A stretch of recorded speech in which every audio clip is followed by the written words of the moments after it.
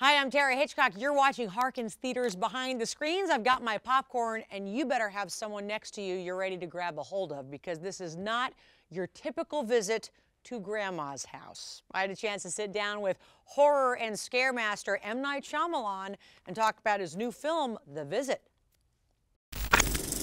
Bedtime here is 9.30. It's probably best you two shouldn't come out of your room after that. See you in the morning. 9.30? 9.30.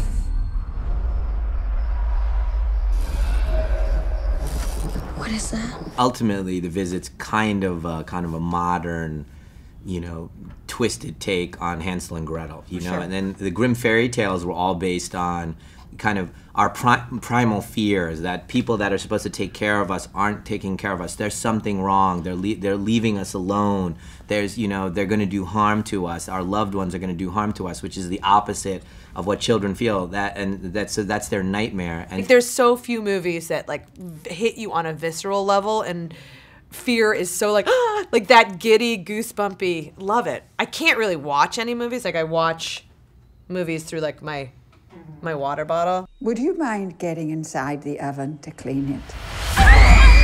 Stop! Nana, stop! Of course, the grandparents have to live in the middle of nowhere, which never makes things easy. If you want to find out why, just click on the extended version of the interviews for The Visit.